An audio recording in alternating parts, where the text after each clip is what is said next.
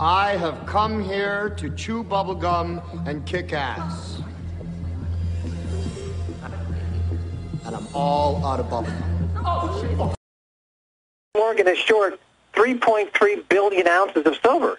They are short 3.3 billion ounces of silver. This is silver that they've sold that they don't own. If anyone comes to collect the silver, they have to go into the open market to buy it, to make that delivery. Now, the silver market is not even one-tenth that size. So naturally, when you have that much buying on a commodity that's uh, fractionally that much available, it drives the price to up, you know, uh, uh, to new highs. That's why uh, I'm I'm making this call. I think we're going to see silver trade at five hundred dollars. Five hundred dollar silver. It's based on uh, a couple of things. Number one, we all, uh, us in the industry and people on your show, see gold trading at $10,000 an ounce. That's a foregone conclusion at this point. You've always got a 20 to 1 re- relationship between silver and gold, so that's your $500 right there. Uh, number two, uh, given J.P. Morgan's position, they've got, as I mentioned, 3.3 billion ounces of silver sold short as part of their overall balance sheet, which is 1.5 trillion in derivatives that they can't cover. The entire market capitalization of J.P. Morgan is 150 uh.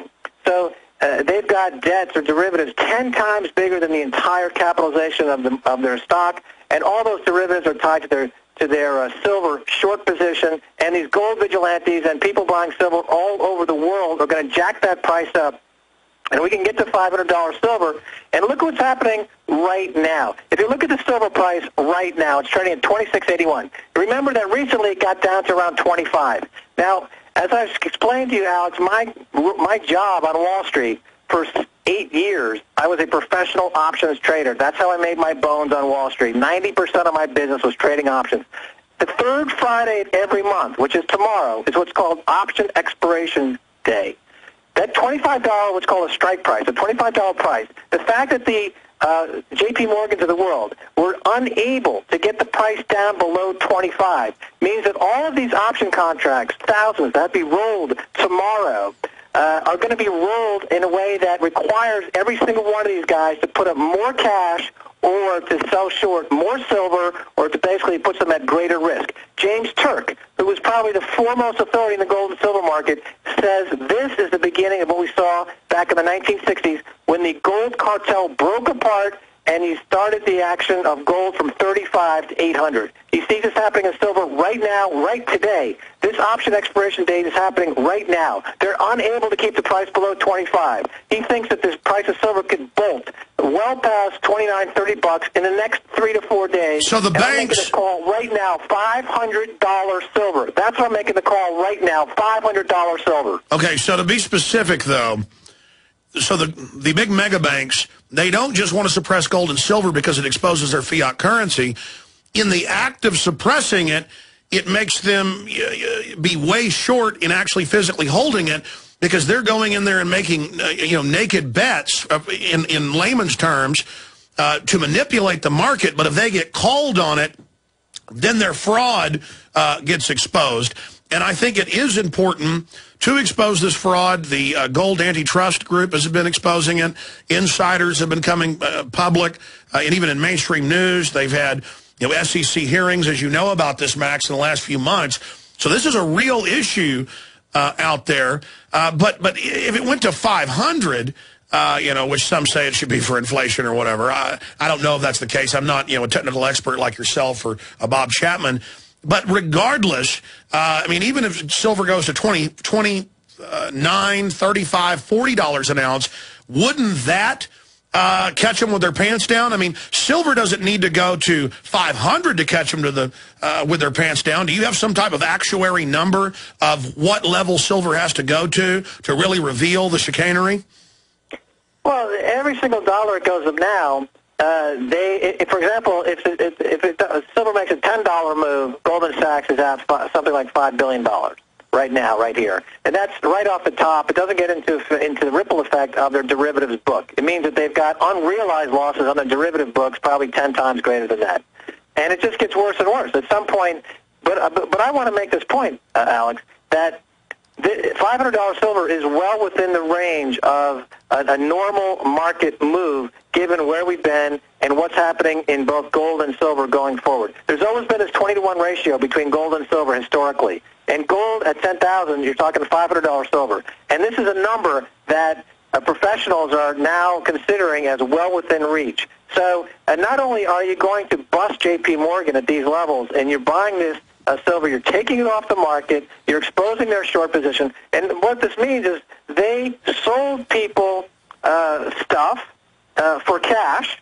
They have the cash that they stole. They stole people's stuff and they took people's cash. Now those people are buying back, but they don't have the stuff to deliver. They're short. There, there's nothing in the cupboard. They have. And again, go Goldman Sachs and J.P. Morgan, they've been caught, especially Goldman Sachs. They even paid what 500 million, but they made billions, so it was paltry. They've been caught selling bad derivatives to their customers while they were secretly betting against it. And of course, you know, they famously called it, uh, you know, basically pure garbage, but they used a cuss word for it.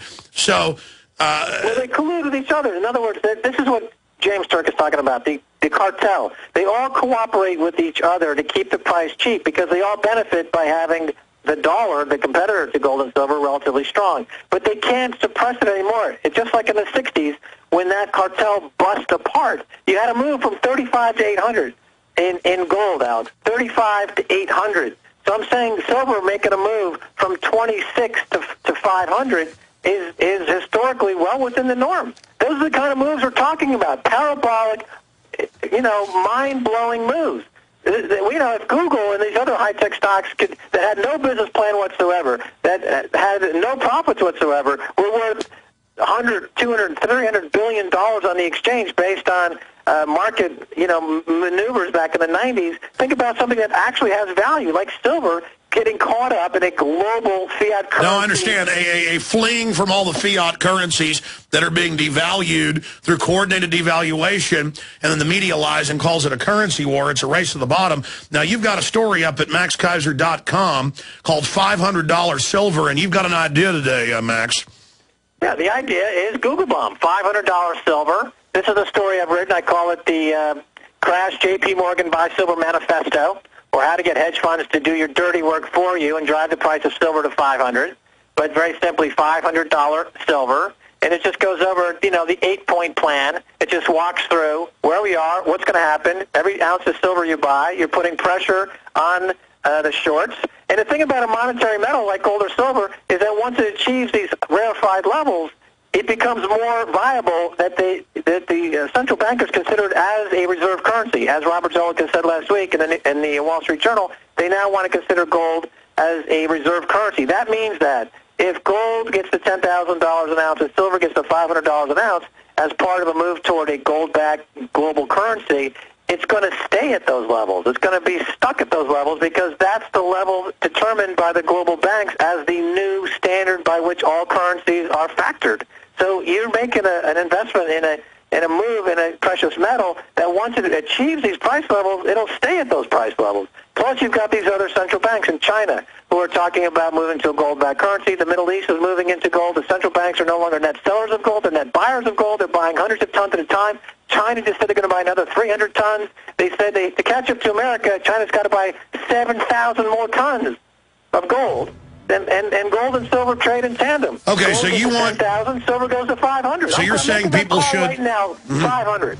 Okay, so you're, we're going to break here. So you're saying $500 silver is the search term, and uh, folks think this is a good idea.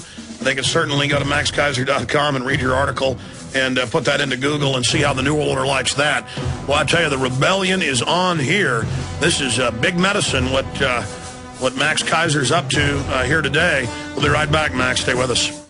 Hi, this is Alex Jones. Did you know that the global elite are now storing non-hybrid seeds in secret storage vaults near the Arctic Circle? Did you know that in a real meltdown, non-hybrid seeds can become more valuable than silver or gold? It's true, seeds have outperformed even gold and silver before in this country, and it's possible that could even happen again. So our friends at Solutions from Science have put together the perfect mix of non-hybrid seeds. They call it a survival seed bank and it can produce an endless supply of nutrient-dense food for you and your family. And here's the best part.